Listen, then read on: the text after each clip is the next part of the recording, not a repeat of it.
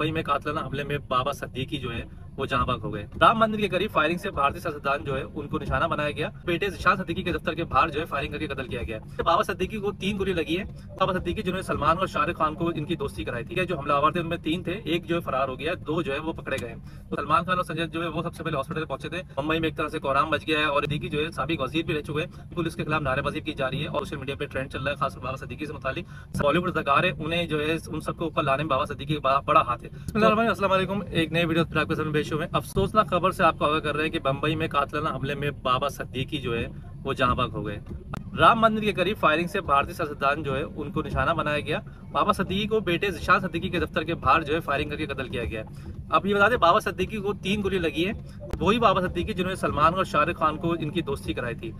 अब पुलिस के मुताबिक बम्बई पुलिस के मुताबिक इस वक्त जो दो लोग हैं, उनको गिरफ़्तार किया जो हमलावर थे, उनमें तीन थे, एक जो है फरार हो गया, दो जो है वो पकड़े गए उसके जो हमला हुआ था, उसके बाद हॉस्पिटल लेके गए थे उनको, लेकिन वहाँ वो जावर ना हो सके।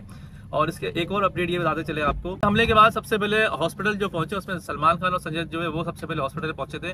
अब तक की ये अपडेट है कि बाबा सद्दीकी जो है, वो जख्मी होने के बाद जब हॉस्पिटल पहुँचे तो वो जाबान ना हो सके, जिन्हें मुंबई में एक तरह से कोराम बच गया है और एक बहुत बड़ी शख्सियत है बाबा सद्दीकी जो है, सबक वज़ीर भी रह चुके हैं महाराष्ट्र के।